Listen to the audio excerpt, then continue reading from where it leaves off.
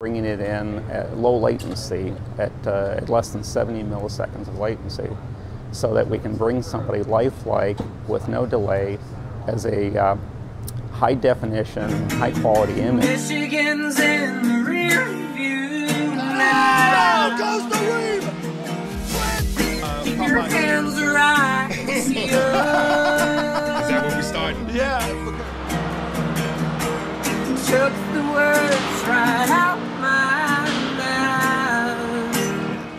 mouth. You feeling? No, When you knew no, just tired, tired. But I mean, we're always tired, Bring right? it in at low latency, at, uh, at less than 70 milliseconds latency, so that we can bring somebody lifelike with no delay as a uh, high definition, high quality.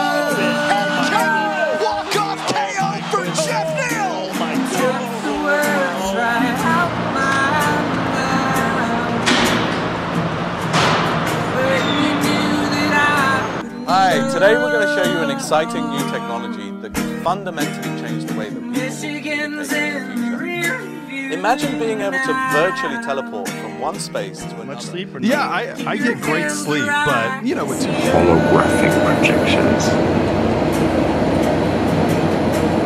Took the words So how would that be done?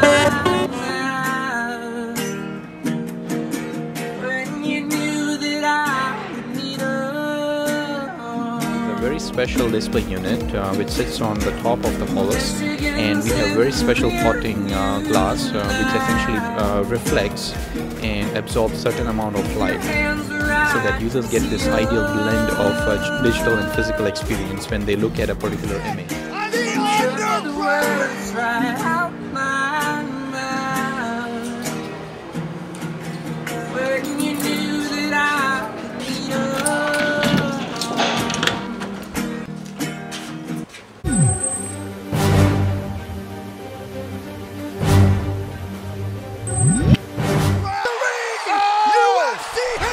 Michael Yo, Yes, back from the brink.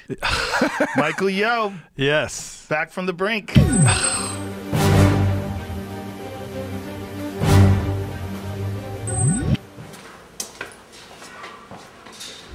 But the one thing, the one thing I really wanted to find out about in this whole thing is what happened to Michael Yo? What happened to him?